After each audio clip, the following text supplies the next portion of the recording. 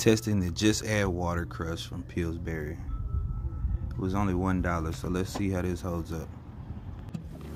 What it do, y'all? Back at it again with a breakfast recipe this time.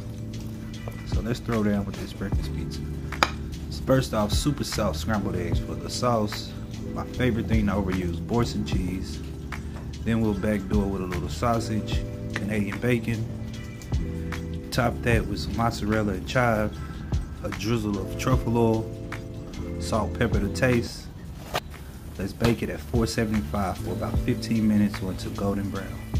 Cut it up and enjoy with your favorite salsa.